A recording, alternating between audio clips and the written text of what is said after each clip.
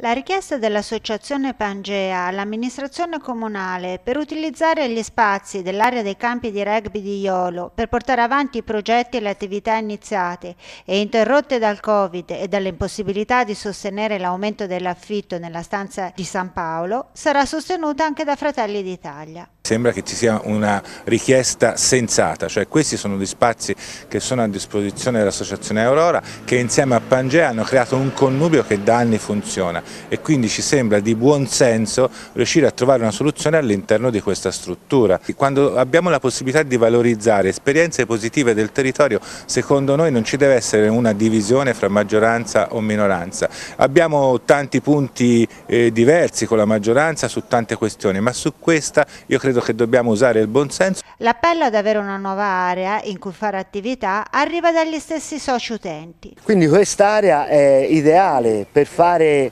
non solo